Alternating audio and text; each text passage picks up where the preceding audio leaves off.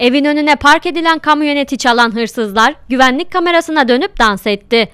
Adana'da Merkez Seyhan ilçesi Meydan Mahallesi'nde 6 Eylül'de Ömer Yılmaz'ın evinin önüne park ettiği kamyonetin yanına 3 kişi geldi.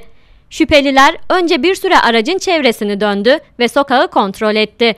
Daha sonra şüphelilerden Ahmet Yıldırım kamyonetin kapısını açıp içine girdi. Görüntü kayıtlarından Salih Özbey olduğu belirlenen diğer şüpheli ise aracın ön konsolunda bulunan şapkayı aldı.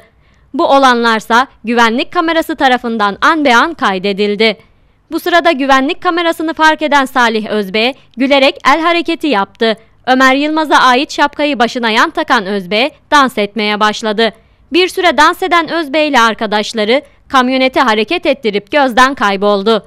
İhbar üzerine olay yerindeki güvenlik kamerası kayıtlarını inceleyen polis, hırsızlık suçundan çok sayıda kayıtları bulunan Ahmet Yıldırım'la Salih Özbey'i saptadı. Kamyonetse terk edilmiş halde bulunup sahibine teslim edildi. Bir iş yerinden hırsızlık yapmak isteyen Yıldırım'la Özbey de suçüstü yakalandı. Gözaltına alınan iki şüpheli tutuklanırken onlara yardım eden diğer şüpheli ise aranıyor. Dans etmeyi nereden öğrendin? Hırsızlık yaparken neden dans ediyordun? O figürler ne devrenin dans etmesini? Neden dans yapıyorsun hırsızlık yaparken? Bir şey söylemeyecek misin?